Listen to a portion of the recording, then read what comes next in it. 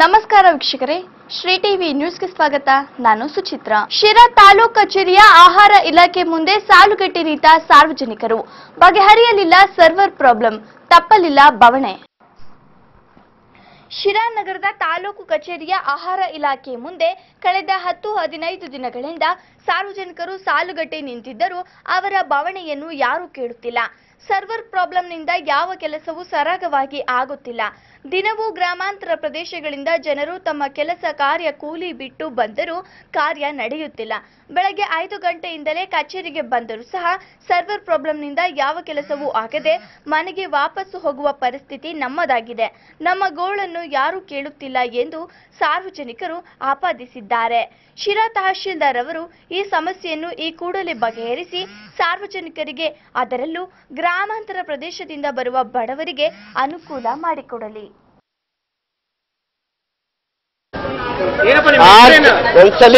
ಎಲ್ಲಿಂದ ಸಿರಾದಿಂದಾನೆ ಇಲ್ಲಿಂದಾನೆ ಸಿರಾ ಟೌನ್ನಿಂದ ಆರ್ ತಿಂಗಳಿಂದ ಬಂದಿರೋಣ ಸರ್ವರ್ ಇಲ್ಲ ಸರ್ವರ್ ಇಲ್ಲ ಬರ ಇದೆ ಆಗತ್ತೆ ಆರು ತಿಂಗಳಿಂದ ಒಂದ್ಸತಿ ನೋಡಿದ್ರೆ ಎಲೆಕ್ಷನ್ ಆಗತ್ತೆ ಆಗ್ತಾ ಇಲ್ಲ. ಇನ್ನೊಂದ್ಸತಿ ನೋಡಿದ್ರೆ ಲೈನ್ ಸರ್ವರ್ ಇರಲ್ಲ. ಏನ್ ಸಮಸ್ಯೆ ಇದು? ಯಾವ್ದು ಇರೋದು ಯಾರಿಗಂತ ಹೇಳ್ಬೇಕು ನಾವು ಈಗ? ಯಾವ್ದು ಕಾನೂನು ಇದು? ಸಾಲಾಗಿ ಬಂದಿರೋ ಆಯಮ್ಮ ನೋಡಿದ್ರೆ ಹೊಲ್ಟಾರ ಹಂಗೆ. ನಿಮ್ಗೆ ಫಸಲ್ ಹೇಳ್ಬೇಕೇನಪ್ಪ? ಹಂಗೇನಪ್ಪ ಅಂತ. ಸರ್, ಮಾತಾಡೋದು ಸ್ವಲ್ಪ ಇತಿಮಿತಿ ಬೇಡವಾ? ಬರೋ ಸುಮ್ಮನೆ ಇದು ಹೇಳ್ಬಿಟ್ರೆ ಗೋಲ್ಡ್ ಏನಂತ ಮಾಡಿರೋದು ಮತ್ತೆ? ಜಂಗುಳ ಕಾಯಿ ನೋಡ್ರಿ ಆ ಜಂಗುಳ ನೋಡ್ರಿ. ತಿಂಡಿ ಇಲ್ಲ, ಊಟ ಇಲ್ಲ ಸುಮ್ಮನೆ ಇಲ್ಲಿ ನಿಂತ್ಕೊಂಡು ಸಾಲಾಗಿ ಉಳ್ಸೋದು ಕೋಪನ್ಗೋಸ್ಕರ ಇದು. ಯಾವ್ದಿದು ಇದು? ನೀವು ಸಮಸ್ಯೆ ಹೇಳ್ಬೇಕು ತಹಸೀಲ್ದಾರ್ ಹತ್ರ ಹೇಳ್ಬೇಕು ಯಾಕೆ ಯಾರು ಅಂತ ಹೇಳ್ತೀರಾ? ಯಾರು ನೋಡಿದ್ರು ಇದು ಮಾಡ್ತೀರಾ? ಇಲ್ಲ ಆಗ್ತಾ ಇಲ್ಲ ಅಂದ್ರೆ ಅಲ್ಲಿ ಹೇಳ್ಬೇಕು ಕೆಲಸ ಆಗ್ತಾ ಇಲ್ಲ ಹಿಂಗಿದೆ ಅಂತ. ಅಲ್ಲಿ ಒಳಗಡೆ ಬಿಡತ್ತಾನೆ ಹೋಗೋದು ಹೇಳಕ್ಕೆ. ಅವ್ರಿಗೆ ಕೆಲಸ ಇರುತ್ತೆ ವೇಟ್ ಏನ್ ಮಾಡ್ತೀರಾ? ಹೇಳಿ ಸರ್ ಅಂತ ಈ ಕೆಲಸ ಕಾರ್ಯ ಆದ್ರೆ ಈ ಸಾಯಂಕಾಲ ಅದ ಅದೇ ಖಾಲಿನ. ಆಗ್ತಾ ಇಲ್ಲ ಸರ್ವರ್ ಇಲ್ಲ. ಅವ್ರೇನ್ ಮಾಡ್ತಾರೆ? ಹೇಳಿ.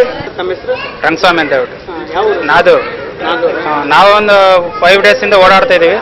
ಬಂದ್ರೆ ಮಧ್ಯಾಹ್ನ ಮೇಲೆ ಸರ್ವ ಒಂದು ಗಂಟೆ ಮೇಲೆ ಬರ್ತದೆ ಸರ್ವರ್ ಅಂತಾರೆ. ಒಂದು ಗಂಟೆ ಅಂದ್ರೆ ಒಂದು ಇಪ್ಪತ್ತು ಜನ, ಒಂದು ಹದಿನೈದು ಜನ ಒಳಗೆ ಮುಗಿಸ್ತಾರೆ. ನಾಲ್ಕು ಗಂಟೆ ಆದ್ಮೇಲೆ ಟೈಮ್ ಆಯಿತು, ಸರ್ವರ್ ಇಲ್ಲ ಅಂತ ಅದು ಹೋಗ್ತಾರೆ. ಮತ್ತೆ ಕಂಪ್ಲೇಂಟ್ ಮಾಡಿದ್ದಾರೆ, ಇಲ್ಲ ಅಂತೇನಿಲ್ಲ ಇದು ಡೈಲಿ ಹೋಗ್ತಾರೆ, ತಾಲೂಕು ಆಫೀಸರ್ ಅವರು ಕಂಪ್ಲೇಂಟ್ ಮಾಡಿದ್ದಾರೆ. ಇಲ್ಲೆಲ್ಲರೂ ಹೋಗಿದ್ದಾರೆ, ಸುಮಾರು ಜನ ಹೋಗಿದ್ದಾರೆ. ಅವರೇನು ಆಕ್ಷನ್ ತಾಮ್ತಿಲ್ಲ ಮುಂದಕ್ಕೆ. ಬರೀ ಸರ್ವರ್ ಇಲ್ಲ ಅಂತ ಹೇಳಿದ್ರೆ ಒಂದು ಹತ್ತು ಜನ ಮಾಡ್ತಾರೆ, ಹೋಗ್ತಾರೆ. ಮಧ್ಯಾಹ್ನ ಮೇಲೆ ಮಧ್ಯಾಹ್ನ ಮೇಲೆ ಸರ್ವರ್ ಬರುತ್ತೆ ಅಂತೇಳಿ. ಅದು ಯಾರು ಇದು ಮಾಡ್ಬೇಕೋ ಗೊತ್ತಾಗ್ತಿಲ್ಲ. ಅಟ್ಲೀಸ್ಟ್ ಒಂದು ಟೋಕನ್ ಆದ್ರೂ ಕೊಟ್ಟು ಕಳಿಸ್ಬಿಟ್ರೆ ಇನ್ನೊಂದು ದಿವಸ ಎಂಟು ದಿವಸ ಬಂದು ಅನುಕೂಲ ಆಗ್ಬೋದು. ಹೌದು ಟೋಕನ್ ಅದ ಅದಾದ್ರೂ ಮಾಡ್ಬೋದು. ಇಲ್ಲ ಫಾರಂ ಇಸ್ಕೊಂಡು ಇಂಥ ಟೋಕನ್ ಇಸ್ಕೊಂಡು ಇಂಥ ದಿನ ಬರ್ರಿ ಅಂತ ಹೇಳ್ಬಿಟ್ಟು ಅದನ್ನ ಮಾಡಿದ್ರೆ ಅದನ್ನು ಮಾಡಿಲ್ಲ ಇವರು. ಅರ್ಧ ಇದು ಕಡಿಮೆ ಆಗುತ್ತೆ. ಅದನ್ನ ಅರ್ಧ ಕಡಿಮೆ ಆಗುತ್ತೆ. ನಿಮ್ದು? ಅಣ್ಣ ನಮ್ದು ಬರಗೂರ ಹತ್ರ ಅಗ್ರಹಾರ ಆ, ಈ ಪಂಚಾಯತಿಗಳಿಗೆ ಆಯಾ ಪಂಚಾಯತಿಗಳಿಗೆ ಕೊಟ್ಬಿಟ್ಟಿದ್ರೆ ಇವೆಲ್ಲ ಕಾಯಂತ ಪ್ರಮೇಯನೇ ಇರ್ತಿರ್ಲಿಲ್ಲ. ಇಲ್ಲ ಇವಾಗ ನಾಲ್ಕು ನಾವು ಇಲ್ಲಿಗೆ ನಾಲ್ಕು ದಿವಸದಿಂದ. ನಾಲ್ಕು ದಿನದಿಂದ ಕೆಲಸ ಹಾ ಆಗಿದೆ ನಾಲ್ಕು ದಿನದಿಂದ ಕೆಲಸ ಆಗಿಲ್ಲ ಪಂಚಾಯತಿ ಕೊಟ್ಬಿಟ್ರೆ ಅನುಕೂಲ ಹಾ ಆಗುತ್ತೆ ಪಂಚಾಯತಿ ಕೊಟ್ರೆ ಅನುಕೂಲ ಆಗುತ್ತೆ. ಇಲ್ಲ ಇವಾಗ ನಾಲ್ಕು ಹೋಬಳಿ ಮಾಡಿದಾರಲ್ಲ ಆ ಹೋಬಳಿಗೆ ಒಂದೊಂದ್ ದಿನ ಇಂತಿಂತ ಊರು. ಹ ಒಂದೊಂದ್ ದಿನ. ಇವಾಗ ನಾನು ಹುಲಿಕುಂಡೆ ಹುಲಿಕುಂಟೆ ಹೋಬಳಿ ನಾಲ್ಕು ಗೌಡ್ಗೆರೆ. ಮತ್ತೆ ಅಲ್ಲೇ ಅವ್ರದ್ದು ಬುಕ್ಕಾಪಟ್ಟಣ ಹೋಬಳಿ. ಅಲ್ಲಿ ನಮ್ದು ದೊಡ್ಡಗ್ರ ಸರ್. ನೀವು ಎಷ್ಟು ದಿವಸದಿಂದ ಬರ್ತಾ ನಾವು ನಾಲ್ಕು ದಿನ ಸರ್. ಹ್ಞೂ ನಾವು ನಾಲ್ಕು ದಿನ. ನಾವು ನಾವು ನಾಲ್ಕು ದಿನ. ಕೆಲಸ ಆಗಲ್ಲ ಏನಿಲ್ಲ ಸುಮ್ಮನೆ ಬರೋದು ಹೋಗೋದು. ಹತ್ತೊಂಬತ್ತು. ದೊಡ್ಡದಲ್ಲಿ ಅಕ್ಲಮೆಂಟ್ ಬಂದ್ ಬಂದ್ ಬಂದ್ ಬಂದ್ ಬಂದ್. ವಾಪಸ್ ಹೋಗ್ಬೇಕು. ಬರೋ ಇದೇ ಆಗತ್ತೆ ಗೋಳಿ ಅವ್ರದ್ದು ತಹಸೀಲ್ದಾರ್ ಹತ್ರ ಹೋದ್ರೆ ಎಲ್ಲ ಬಿಡಲ್ಲ. ಹ್ಞೂ ಹೋಗಕ್ ಬಿಡಲ್ಲ. ವೇಟ್ ಮಾಡಿ ವೇಟ್ ಮಾಡಿದ್ರು ಬಿಡಲ್ಲ. ಅಲ್ಲೇ ಬಂದ್ಬಿಟ್ಟು ಮಾತಾಡ ಹೋಗಿದಾರೆ. ನೀನ್ ಯಾಕೆ ಬಂದಿದ್ಯಾ ಹಂಗೆ ಹಿಂಗೆ ಅಂತ ಮಾತಾಡ್ತಾರೆ. ಆದ್ರೆ ಇಲ್ಲಿ ಬಂದ್ರೆ ಸರ್ವಲ್ ಸಿಗಲ್ಲ ಹಂಗೆ ಹಿಂಗೆ ಅಂತ ಆರು ಗಂಟೆಗೆ ಬಂದ್ರು ರಾ- ಸಾಯಂಕಾಲ ಆರು ಗಂಟೆಗೆ ಅಂತ.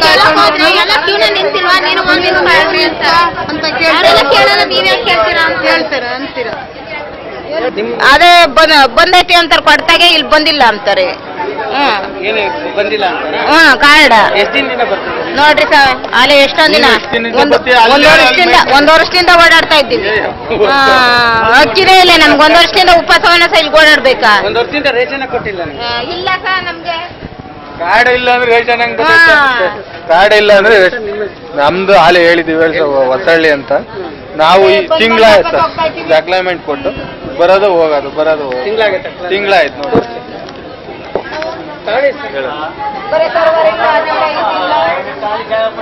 ರೇಷನ್ ಅಕ್ಕಿ ಬರ್ತಾ ಇಲ್ಲ ಸರ್ ಮನೆಗೆ. ಬಂದು ಮಾಡ್ತೀವಿ ಕೊಡ್ತಾ ಇಲ್ಲ ಏನಿಲ್ಲ ಸರ್. ಎರಡು ಕೊಡಲ್ಲ. ಸರ್ ತಾಣೆ ತಾಣೆ ಪೆಂಡಿಂಗ್ ಇಡ್ತಾರೆ ಅಲ್ಲೇ ಇಡ್ತಾರೆ. ನಾವು ಊರ್ ಮಕ್ಕಳನ್ನೆಲ್ಲ ಕರ್ಕೊಂಬಂದು ಉಪವಾಸ ಒನ್ನಸ ನಾವು ಸಾಯ್ಕೊಂಡು ಹೋಗ್ಬೇಕು ಇಲ್ಲಿ. ಕುಡಿಯಕ್ಕೆ ಒಂದ್ಸತಿ ಕುಡ್ನೀರು ಸಹ ಸಿಗ್ತಾ ಇಲ್ಲ ಇಲ್ಲಿ. ಹಂಗೆ ಉಪವಾಸ ಸಾಯ್ಕೊಂಡು ತುಮಕೂರಿಂದ ಮಕ್ಕಳನ್ನ ಕರ್ಸ್ಕೊಳ್ಳೋದು. ದಿನ ಇದೆ ಹಳೆ ಕೂಲಿ ಮಾಡ್ಕೊಂಡು ಅವರು. ನಾವು ಅಧಿಕಾರಿಗಳು ಅಂತ ಕೈ ಬೇಡ್ಕೋಬೇಕು ಅವ್ರನ್ನ. ಶಿರಾ ನಗರದ ಎಪಿಎಂಸಿ ಎರಡ್ನಲ್ಲಿ ನೂತನವಾಗಿ ವಿವಿಧ ಧಾನ್ಯಗಳನ್ನು ಶುದ್ಧೀಕರಿಸುವ ಹಾಗೂ ಶ್ರೇಣೀಕರಿಸುವ ಯಂತ್ರಕ್ಕೆ ಚಾಲನೆ ನೀಡಲಾಯಿತು. ಶಿರಾ ನಗರದ ಎಪಿಎಂಸಿ ಯಾರ್ಡ್ನಲ್ಲಿ ನೂತನವಾಗಿ ಧಾನ್ಯಗಳ ಸ್ವಚ್ಛಗೊಳಿಸುವಿಕೆ ಹಾಗೂ ಶ್ರೇಣೀಕರಿಸುವ ಯಂತ್ರವನ್ನು ಚಾಲನೆ ಮಾಡಲಾಯಿತು. ಈ ಯಂತ್ರದಿಂದ ಪ್ರತಿ ಗಂಟೆಗೆ ಐದು ಟನ್ವರೆಗೆ ವಿವಿಧ ಧಾನ್ಯಗಳನ್ನು ಸ್ವಚ್ಛಗೊಳಿಸಬಹುದು. ಈ ಯಂತ್ರದ ಉಪಯೋಗವನ್ನು ವರ್ತಕರು ಹಾಗೂ ರೈತರು ಪಡೆದುಕೊಳ್ಳಬಹುದಾಗಿದೆ. ಮೂರು ಹಂತಗಳಲ್ಲಿ ಧಾನ್ಯವನ್ನು ಸ್ವಚ್ಛಗೊಳಿಸಿ ತೂಕಕ್ಕೆ ಅನುಸಾರವಾಗಿ ಪ್ಯಾಕ್ ಮಾಡಲಾಗುತ್ತದೆ. ಧಾನ್ಯಗಳ ಆಕಾರಕ್ಕೆ ಅನುಗುಣವಾಗಿ ಶ್ರೇಣೀಕರಿಸುವುದರಿಂದ ವರ್ತಕರಿಗೆ ತುಂಬಾ ಅನುಕೂಲವಾಗಲಿದೆ. ವಿದ್ಯುತ್ ವ್ಯತ್ಯಯವಾದರೂ ಕೂಡ ಜನರೇಟರ್ ಮೂಲಕ ಈ ಯಂತ್ರವನ್ನು ಚಾಲನೆ ಮಾಡಬಹುದಾಗಿದೆ. ಹಾಗೂ ಈ ಯಂತ್ರವನ್ನು ದೇಶದ ಪ್ರತಿಷ್ಠಿತ ಆಗ್ರೋ ಇಂಡಸ್ಟ್ರೀಸ್ ಆದ ಒಎಸ್ಎಡಬ್ಲ್ಯೂ ರವರಿಂದ ತಯಾರಿಸಲಾಗಿದೆ. ಶ್ರೀ ಟಿವಿ ತಂಡ ಕಂಪನಿಯ ಡಿವಿ ವೆಂಕಟೇಶ್ ಮೂರ್ತಿಯವರನ್ನು ಮಾತನಾಡಿಸಿದಾಗ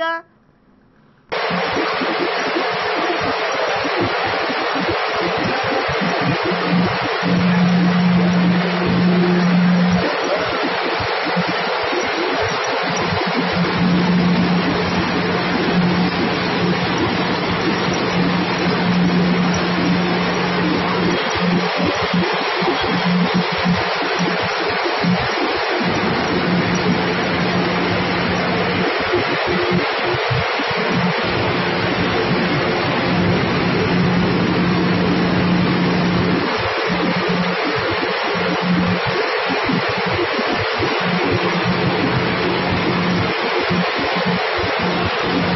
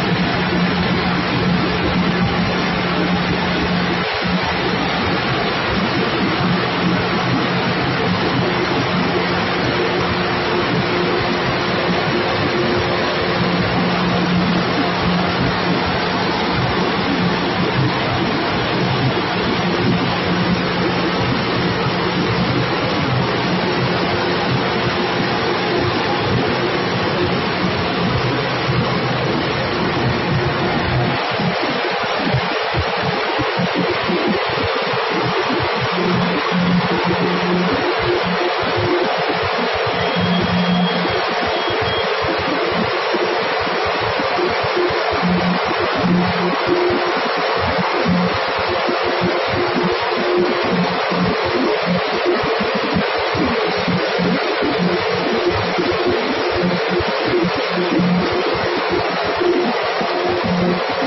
you.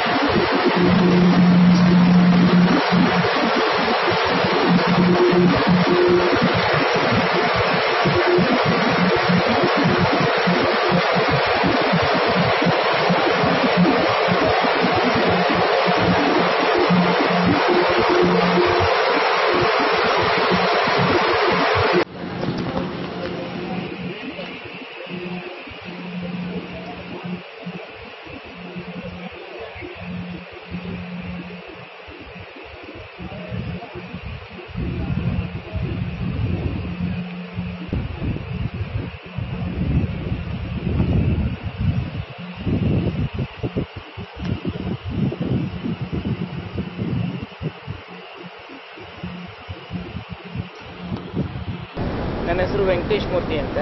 ನಾನು ಓಸಾ ಅಗ್ರೋ ಇಂಡಸ್ಟ್ರೀಸಲ್ಲಿ ಡಿವಿಷನಲ್ ಮ್ಯಾನೇಜರ್ ಆಗಿದ್ದೀನಿ. ಡಿವಿಷನಲ್ ಮ್ಯಾನೇಜರ್ ಆಗಿದ್ದೀನಿ. ನಾನು ಈಗ ಪ್ರೆಸೆಂಟ್ ಕರ್ನಾಟಕ ಸ್ಟೇಟ್ನ ನಾನು ನೋಡ್ಕೋತಾ ಇದ್ದೀನಿ. ಅಫ್ಕೋರ್ಸ್ ನಾನು ಮಾರ್ಕೆಟಿಂಗಲ್ಲಿ ನಾನು ಒಂದು ನಲವತ್ತೈದು ವರ್ಷ ಎಕ್ಸ್ಪೀರಿಯನ್ಸ್ ಆಗಿದೆ yes electrical engineer electrical engineer so ಈಗ ಇವರಿಗೆ ಎ ಪಿ ಎಂ ಸಿನಲ್ಲಿ ಒಂದು ಪ್ರಾಜೆಕ್ಟ್ ಮಾಡ್ಕೊಂಡಿದ್ರು ಆರ್ ಕೆ ವಿ ಪ್ರಾಜೆಕ್ಟಲ್ಲಿ. ಆ, ರಾಷ್ಟ್ರೀಯ ಕೃಷಿ ವಿಜ್ಞಾ ವಿಕಾಸ್ ಯೋಜನಾ ಅಂತ. ಆ ಪ್ರಾಜೆಕ್ಟಲ್ಲಿ ಎಲ್ಲ ಎ ಪಿ ಎಂ ಸಿಗಳಿಗೂ ಈ ಥರ grain cleaning and grading machine. Multigrain cleaning and cleaning and grading machines ಕೊಡಬೇಕು ಅಂತ ಪ್ರಾಜೆಕ್ಟಲ್ಲಿ ವ್ಯವಸ್ಥೆ ಮಾಡಿಕೊಂಡಿದ್ರು. ಅದ್ರ ಪ್ರಕಾರ ನಾವು ಟೂ ಇಯರ್ಸ್ ಬ್ಯಾಕು ಎರಡು ವರ್ಷದ ಹಿಂದೆ, ನಾವು ಹತ್ತು ಯೂನಿಟ್ ತೊಗೊಂಡ್ರು. ಅದರಲ್ಲಿ ನಾವು ಮೇಜರ್ ಯೂನಿಟ್ಸ್ ಎಲ್ಲ ನಾವು ಸಪ್ಲೈ ಮಾಡಿದ್ದೀವಿ. ಈಗ ಸೆಕೆಂಡ್ ಬ್ಯಾಚಲ್ಲಿ ಈಗ ಐವತ್ತ್ಮೂರು ಯೂನಿಟ್ಟು ಅವ್ರದ್ದು ಸ್ಯಾಂಕ್ಷನ್ ಆಗಿತ್ತು. ಐವತ್ತ್ಮೂರು ಯೂನಿಟಲ್ಲಿ ನಾವು ಮೂವತ್ತೊಂದು ಯೂನಿಟ್ಟು ನಾವು ಸಪ್ಲೈ ಮಾಡಿದ್ದೀವಿ. ಇದರಲ್ಲಿ ಏನು ಅಂತಂದರೆ ಇದ್ರ ಕೆಪಾಸಿಟಿ ಒಂದು ಗಂಟೆಗೆ ಐದು ಟನ್ನಷ್ಟು ಗ್ರೈನ್ನ ಅಥವಾ ಪಲ್ಸಸ್ನ ಯಾವುದೇ ಆಗಲಿ ಧಾನ್ಯಗಳನ್ನ ಕ್ಲೀನ್ ಮಾಡ್ಬೋದು ಎಷ್ಟು ಟೈಪ್ ಪಲ್ಸಸ್ ಕ್ಲೀನ್ ಮಾಡ್ಬೇಕು ಯಾವ ಯಾವುದೇ ಥರದ ಪಲ್ಸಸ್ ಇದ್ರೂ ಕ್ಲೀನ್ ಮಾಡ್ಬೋದು ಅದಕ್ಕೆ ತಕ್ಕನಾಗಿ ಸ್ಕ್ರೀನ್ಗಳನ್ನ ಬದಲಾಯಿಸ್ಕೋಬೇಕಾಗತ್ತೆ ಪ್ರೀ ಕ್ಲೀನರಲ್ಲಿ ಸ್ಕ್ರೀನ್ಸ್ ಬರುತ್ತೆ ಆ ಸ್ಕ್ರೀನ್ಸ್ ಚೇಂಜ್ ಮಾಡಿಕೊಂಡ್ರೆ ಅದ ಆಗ ಆಯಾ ಗ್ರೈನ್ಸ್ಗೆ ಅದನ್ನು ಅಳವಡಿಸ್ಕೋಬೋದು ಒಂದು ಎರಡನೇದು ಗ್ರಾವಿಟಿ ಸಪ್ರೇಟ್ರಲ್ಲಿ ಎರಡು ಥರ ಸ್ಕ್ರೀನ್ ಬರುತ್ತೆ. ಒಂದು coarse grain and fine grain ಅಂತ. ಅದು ಎರಡಕ್ಕೆ ಎರಡು ಥರ ಸ್ಕ್ರೀನ್ಸ್ ಕೊಡ್ತೀವಿ. ಸೊ ಅದರಿಂದ ಇವಾಗ ಸಪೋಸ್ ನೀವು ರಾಗಿ ಗೀಗಿ ಎಲ್ಲ ಹಾಕ್ಬೇಕಾದ್ರೆ ಫೈ ಫೈನ್ ಸ್ಕ್ರೀನ್ ಉಪಯೋಗಿಸ್ಬೇಕಾಗತ್ತೆ. ಅಥವಾ ಕಡಲೆಕಾಳು ಆ ಥರದ್ದಕ್ಕಾದರೆ ಕೋರ್ಸ್ ಸ್ಕ್ರೀನ್ ಉಪಯೋಗಿಸ್ಬೇಕಾಗತ್ತೆ. ಅದು ಉಪಯೋಗಿಸ್ಕೊಂಡು ಗ್ರೇಡಿಂಗ್ ಮಾಡ್ಬೋದು.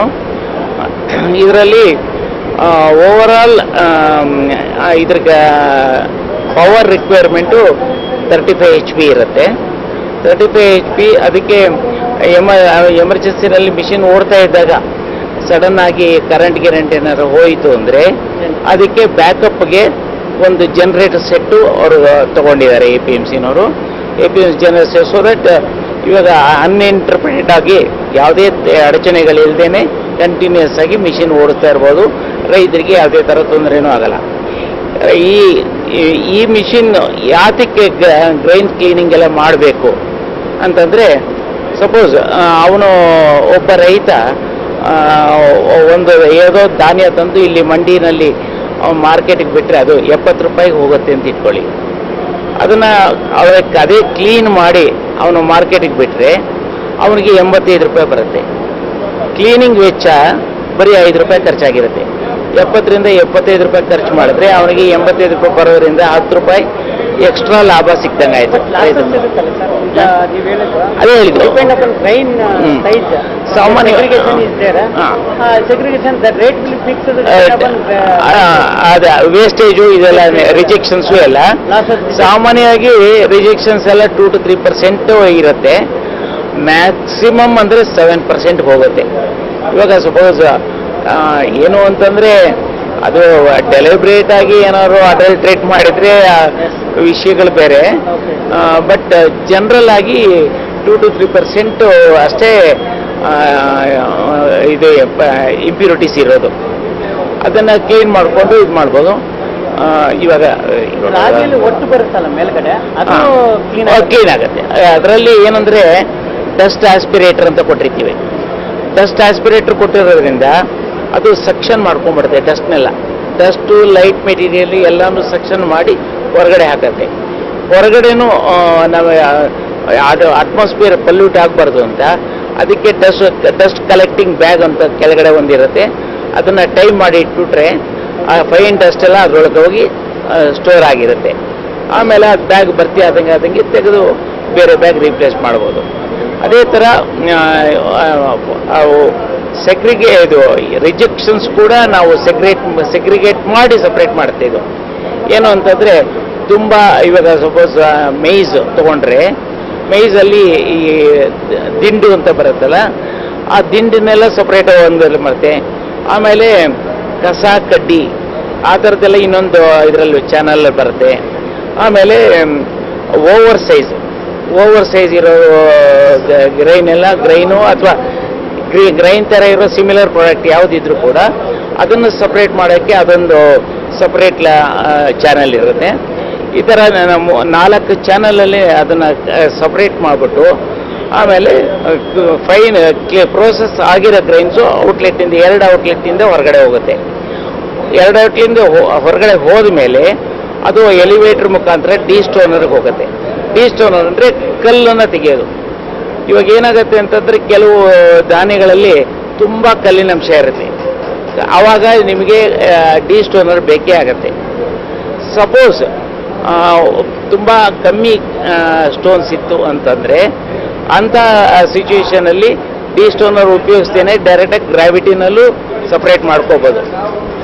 ಕಲ್ಲಿನಂಶ ಒನ್ ಆರ್ ಟು ಪರ್ಸೆಂಟ್ಗಿಂತ ಜಾಸ್ತಿ ಇದ್ದರೆ ಅವಾಗ ಡಿ ಸ್ಟೋನರ್ ಉಪಯೋಗಿಸ್ಬೇಕಾಗತ್ತೆ. ಡಿ ಸ್ಟೋನರ್ ಉಪಯೋಗಿಸೋದ್ರಿಂದ ಬರೀ ಕಲ್ಲನ್ನು ಮಾತ್ರ ಅದು ಸಪ್ರೇಟ್ ಮಾಡುತ್ತೆ. ಕಲ್ಲು ಮಣ್ಣೆಂಟೆ ಎಲ್ಲ ಇರುತ್ತಲ್ಲ, ಅದನ್ನು ಮಾತ್ರ ಸಪ್ರೇಟ್ ಮಾಡುತ್ತೆ. ಸೊ ಅದರಲ್ಲಿ ನಿಮಗೆ ಯಾವುದೇ ಥರ ಗ್ರೈನು ಮಿಕ್ಸ್ ಆಗಿ ಬರೋದಿಲ್ಲ.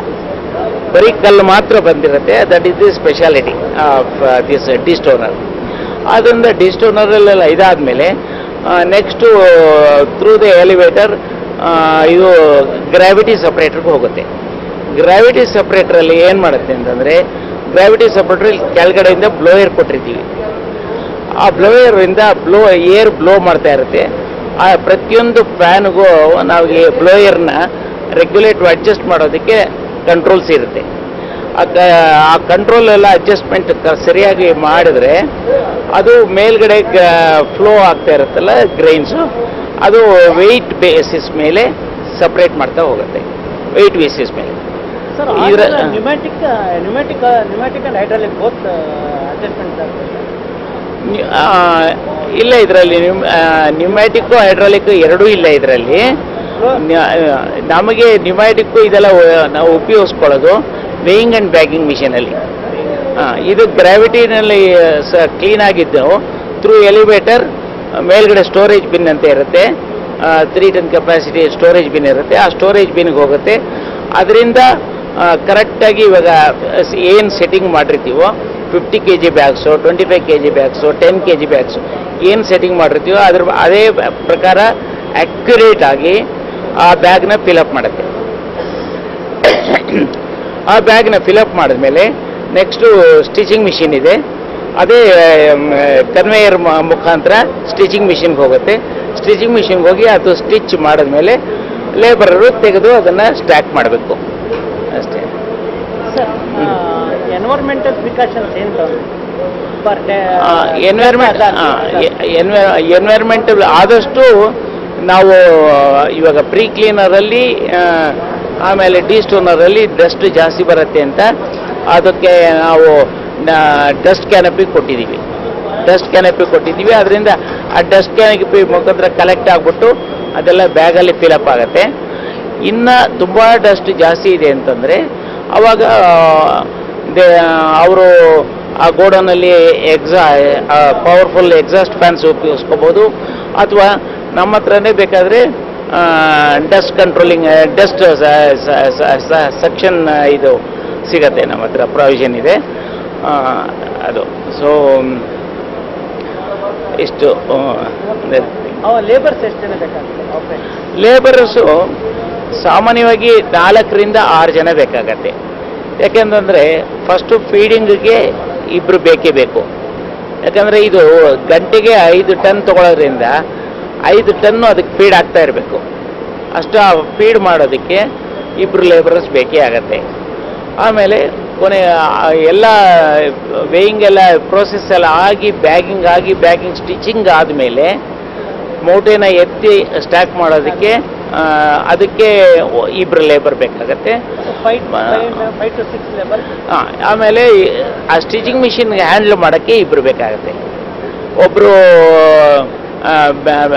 ಆಟೋಮೆಟಿಕ್ ವೇಯಿಂಗ್ ಮಿಷಿನ್ ಕಂಟ್ರೋಲ್ಗೆ ಒಬ್ರು ಇರ್ತಾರೆ. ಆಮೇಲೆ ಸ್ಟಿಚಿಂಗ್ ಮಾಡೋಕ್ಕೆ ಇನ್ನೊಬ್ಬರು ಲೇಬರ್ ಇರ್ತಾರೆ. ಸೊ ಈ ಮಿಷಿನ್ ಕಾಸ್ಟು ಒಂದು ಅಂದಾಜಾಗಿ ಒಂದು ನಲವತ್ತೈದು ಲಕ್ಷ ಆಗುತ್ತೆ. ನಿಮ್ಮ ನಮ್ಮ company Osaw agro industries private limited ಅಂತ ಅಂಬಾಲದಲ್ಲಿದೆ. ನಮ್ಮದು ಸೆವೆಂಟಿ ಇಯರ್ಸ್ ಓಲ್ಡ್ ಕಂಪ್ನಿ. ಎಪ್ಪತ್ತು ವರ್ಷದಿಂದ ನಮ್ಮ ಕಂಪ್ನಿ ಇದೆ. ಅಂದರೆ ನಮ್ಮ ಕಂಪನಿನಲ್ಲಿ ತಯಾರಾಗೋದು ಗ್ರೇಡಿಂಗ್ ಆ್ಯಂಡ್ ಕ್ಲೀನಿಂಗ್ ಮಿಷನ್ನಲ್ಲಿ ನಾವು ಇಡೀ ಇಂಡಿಯಾದಲ್ಲೇ ನಾವು ನಂಬರ್ ಒನ್ನು ಅದು ಅಲ್ಲದೆ ನಾವು ಗ್ರಾವಿಟಿ ಸಪ್ರೇಟರ್ನ ನಾವು ಹಲವಾರು ಹೊರದೇಶಗಳಿಗೂ ನಾವು ಎಕ್ಸ್ಪೋರ್ಟ್ ಮಾಡ್ತಾ ಇದ್ದೀವಿ. ಅದರಿಂದ ನಾವು ನಮ್ಮ ಗ್ರಾವಿಟಿ ಸಪ್ರೇಟರ್ಗಳಿಗೆ ತುಂಬ ತುಂಬ ಹೆಸರುವಾಸಿಯಾಗಿದೆ ಇಂಟರ್ನ್ಯಾಷನಲ್ ಮಾರ್ಕೆಟಲ್ಲಿ ಸೊ ಇದು ನಮ್ಮ ಕಂಪ್ನಿ ಸಿಚುಯೇಟ್ ಆಗಿರೋದು ಅಂಬಾಲಾದಲ್ಲಿ. ಜೊತೆಗೆ ಇನ್ನು ಒಂದು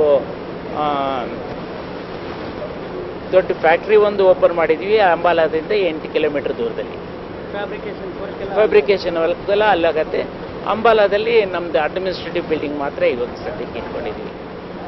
ಫ್ಯಾಕ್ಟ್ರಿ ಮಾಡ್ತೀವಿ. ಹೌದು ಆಲ್ ಓವರ್ ಇಂಡಿಯಾ ಎಲ್ಲ ಕಡೆಗೂ ಸಪ್ಲೈ ಮಾಡ್ತೀವಿ. ಎಕ್ಸ್ಪೋರ್ಟು ಮಾಡ್ತಾ ಇದ್ದೀವಿ ಆಫ್ರಿಕನ್ ಕಂಟ್ರೀಸ್ಗೆ ಶ್ರೀಲಂಕಾ ಬಾಂಗ್ಲಾದೇಶ್ ಈ ಕಡೆಗೆಲ್ಲ ನಾವು ತುಂಬ ತಗೋತಾರೆ ನಮ್ಮ ಮಿಷಿನ್ಗಳನ್ನ ಆ್ಯಂಡ್ ನಮ್ಮ ಟೆಕ್ನಿಷಿಯನ್ಗಳು ಅಲ್ಲೇ ಹೋಗಿ ಇನ್ಸ್ಟಾಲ್ ಮಾಡಿ ಅವರಿಗೆ ಮಾಹಿತಿ ಕೊಟ್ಟು ಟ್ರೈನಿಂಗ್ ಕೊಟ್ಟು ಎಲ್ಲ ಮಾಡ್ತಾರೆ. ಆ ಫೆಸಿಲಿಟಿನೂ ನಾವು ಇಟ್ಕೊಂಡಿದ್ದೀವಿ. ಯಾವುದೇ ಮಿಷಿನ್ ಯಾರೇ ತೊಗೊಂಡ್ರು ಕೂಡ ನಮ್ಮದು ಅವರಿಗೆ ಟ್ರೈನಿಂಗ್ ಕೊಡೋದು ನಮ್ಮ ಜವಾಬ್ದಾರಿ ಇರುತ್ತೆ. ಆಮೇಲೆ ಸರ್ವೀಸು ಸ್ಪೇರ್ ಪಾರ್ಟ್ಸು ಅವೈ ಅವೈಲಬಿಲಿಟಿ ಇದೆಲ್ಲ ಅತಿ ಮುಖ್ಯವಾದ್ದು. ಸಪೋಸ್ ಏನಾದ್ರು ಅವ್ರದ್ದು ಮಿಷಿನ್ ಕೆಟ್ಟೋಯ್ತು ಅಂದ್ರೆ ತಕ್ಷಣ ಸ್ಪೇರ್ ಪಾರ್ಟ್ ಸಪ್ಲೈ ಆಗೋ ಥರ ಇರಬೇಕು. ಅದೆಲ್ಲ ನಾವು ಅದಕ್ಕೆ ತುಂಬ ಪ್ರಾಮುಖ್ಯತೆ ಕೊಟ್ಟು ನಾವು ಈ ಥರ ಆರ್ಗನೈಸೇಷನ್ಸ್ ಹೌದು ಇದು ಅಡ್ವಾನ್ಸ್ ಮಿಷಿನು ಜೊತೆಗೆ ನಮ್ಮ ಫ್ಯಾಕ್ಟ್ರಿನಲ್ಲಿ ಏನು ಅಂತಂದರೆ ಸಪ್ರೇಟಾಗಿ ಒಂದು ಆರ್ ಎನ್ ಡಿ ವಿಂಗ್ ಇದೆ. ರಿಸರ್ಚ್ ನಲವತ್ತೈದು ಲಕ್ಷ ಆಗುತ್ತೆ. ಇದರಲ್ಲಿ ನಲವತ್ತೈದು ಲಕ್ಷದಲ್ಲಿ ಮೂರು ವರ್ಷ ಮೇಂಟೆನೆನ್ಸ್ ಕಾಂಟ್ರಾಕ್ಟು ಸೇರಿಕೊಂಡಿದೆ. ಇಂದಿನ ವಾರ್ತಾ ಪ್ರಸಾರವನ್ನು ಇಲ್ಲಿಗೆ ಮುಕ್ತಾಯ ಮಾಡೋಣ. ನಿರಂತರ ಸುದ್ದಿಗಾಗಿ ನೋಡ್ತಾ ಇರಿ ಶ್ರೀ ಟಿವಿ. ಇದು ಜನಪರ ಧ್ವನಿ.